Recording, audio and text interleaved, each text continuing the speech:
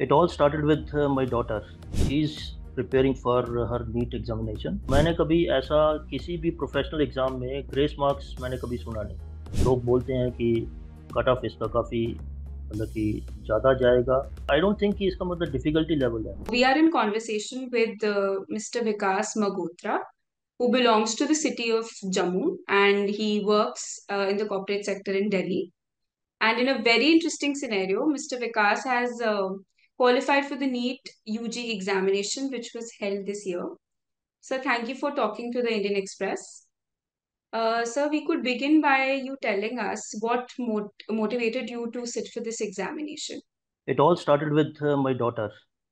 She's preparing for her NEET examination.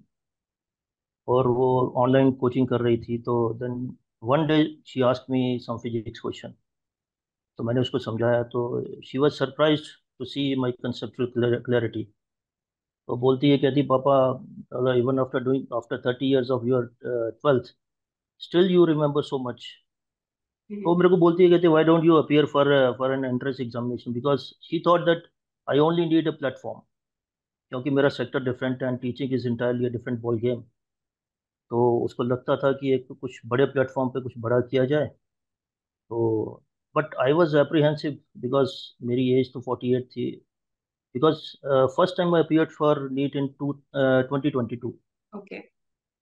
हाँ तो मेरे को लगा कि एज फोर्टी एट है तो एज लिमिट तो होगी वहाँ।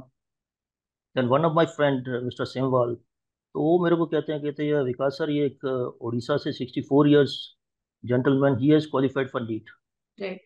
तो मैं इनको बोला कि मैंने कहा ये ये एज लिमिट नहीं होती क्या इसमें? देन ही सेड कि नहीं एज लिमिट तो ख़त्म होगी तो then I I studied for four four months Okay. मतलब बीस बीस ट्वेंटी टू में तो I studied for around four months तो still still I manage to crack it with with around eighty seven percent है तो वो मेरे को मेरे को एक बूस्ट मिला कि मैं कर सकता हूँ अभी भी मेरे कॉन्सेप्ट जो है क्लियर है Right. So right. basically, it all started You see, you, I qualified my uh, 12th around uh, 30 years back. Hmm. तो उस समय जो कॉन्सेप्ट्स थे या उस समय जो एंट्रेंस एग्जामिनेशन का पैटर्न था तो it was entirely different from what what uh, the scenario today today scenario.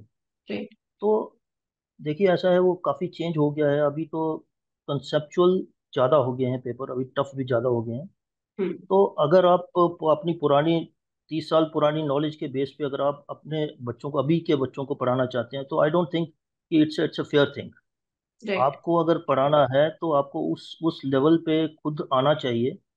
And you should do the rigour and process कौन सी प्रोसेस है एंट्रेंस एग्ज़ाम का पैटर्न क्या है? Hmm. तो उसमें क्या कॉन्सेप्ट पूछे जाते हैं? Because over a period of time it all gets changed Right.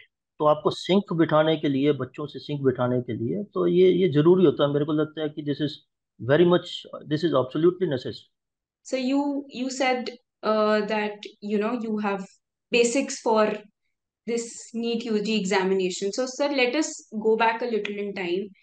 And Mhm. uh, क्या आप हमें बता सकते हैं that uh, what did you do in your 11th and 12th grade? And did you appear for any medical entrances at that time? Oh, definitely, definitely, definitely. In fact, uh, my schooling was uh, with the Kendriya Vidyalaya, Okay. and in my 11th, 12th, uh, I had uh, PCMB, Hmm. mathematics and biology, both were there, and I was good at uh, mathematics and equally good at biology. But then I, I opted for biology because I was more interested in, in becoming doctor. Okay. So, so after my 12th, I appeared in JKPMT, and uh, my score was it was fantastic. But Mhm. some, somehow I could not uh, uh, get selected in uh, medical exam. So then I was selected, and next year I, I was selected in engineering. I was Okay. never interested in engineering, but somehow uh, मेरा एक अच्छा subject था मेरे को हमेशा से अच्छा लगा है तो luckily I got mechanical engineering तो mechanical engineering is purely based on physics बहुत सारे और भी एग्ज़ाम्स मैंने क्वालिफाई किए उसमें के एस प्रीलिम्स था देन एस एस सी का था J N K bank P O का था तो then I chose Oriental Insurance because मेरी पोस्टिंग दिल्ली में थी तो I wanted to be to be in big city while being in insurance तो I qualified for N T P C N T P C का exam होता है assistant engineer का तो उसमें भी मेरा सिलेक्शन हुआ था. Then I qualified for GATE M tech के लिए गेट रहता है. And then again I qualified UPSC twice prelims with sociology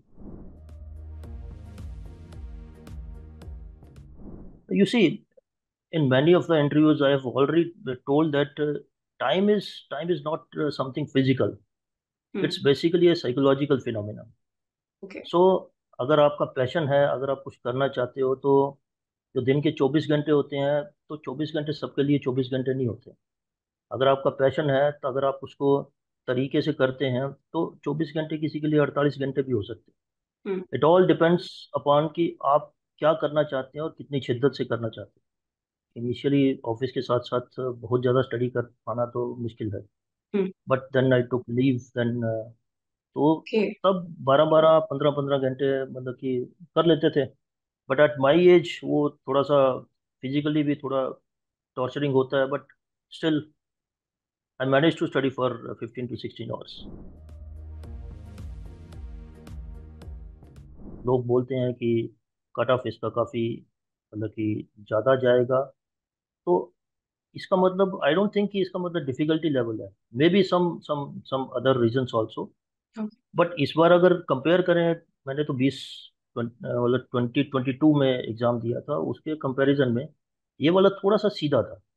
it's not that कि डिफ़िकल्ट था क्योंकि डिफ़िकल्ट एक अलग ही चीज़ होती है। हम्म। कुछ बच्चे क्या होते हैं कॉम्प्लेक्स तो कर लेते हैं लेकिन सीधे सीधे क्वेश्चन नहीं कर पाते। हम्म।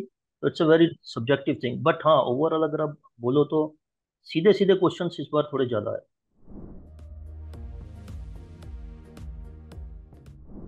बिकॉज़ देखिए ये ये कोई सिंपल एग्ज़ाम नहीं है this is not board exam ये इसमें इसमें क्या होता है ना कि आपका एक मार्क्स अगर उसका एक मतलब ऊपर हो जाए या नीचे हो जाए तो आपका रैंक जो है पाँच सौ सात सौ जो है ना वो नीचे चला जाता है.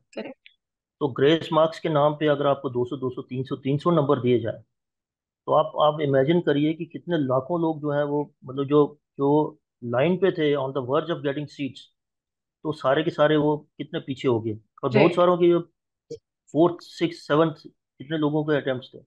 हम्म वो एक एक बहुत मतलब डिसहार्टनिंग चीज़ है।